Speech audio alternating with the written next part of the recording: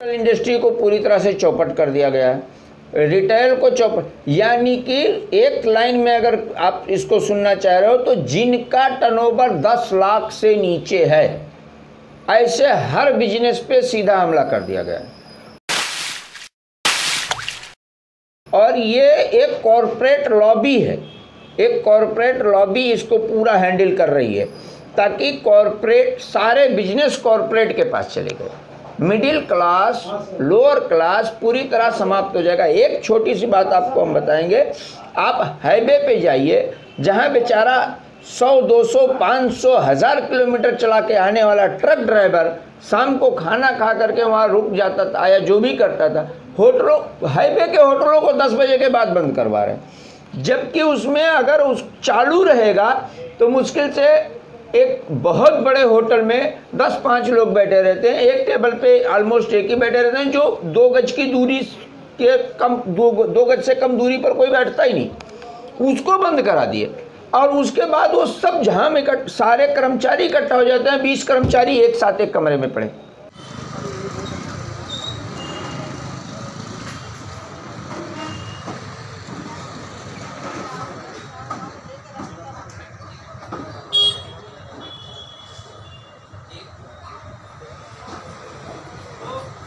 मैं हूँ दिनेश कुमार और आप देख रहे हैं सुरभि सलोनी।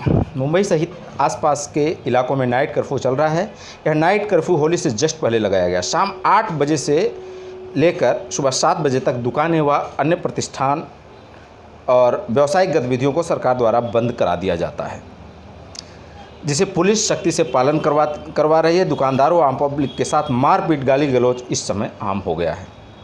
सवाल यह है कि नाइट कर्फ्यू का औचित्य क्या है? कोरोना सच में बढ़ रहा है या कोरोना शाम आठ से सुबह सात बजे तक ही फैलता है? आखिर यह कैसा कोरोना है जो सिर्फ़ वहीं फैल रहा है जहाँ व्यावसायिक गतिविधियाँ संचालित हो रही हैं?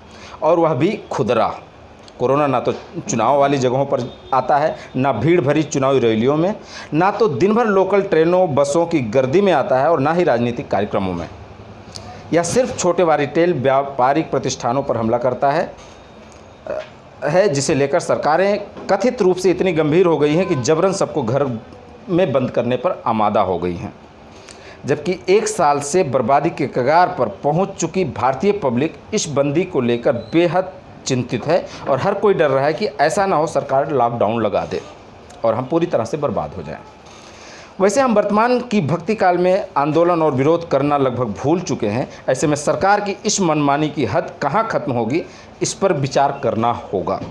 सोचकर बताइएगा तब तक के लिए आप सभी को सुनने के लिए धन्यवाद, नमस्कार, जल्द ही फिर मिलेंगे। इस बीच हम कुछ लोगों से भी बात करेंगे और देखेंगे कि कैसे पुलिस दुकानें बंद करवाती है और लोगों से कैसे व्यवहार करती है। हमारा चैनल सुरवी सलोनी अगर आपने सब्सक्राइब नहीं किया है तो सब्सक्राइब ज़रूर कर लीजिए। धन्यवाद।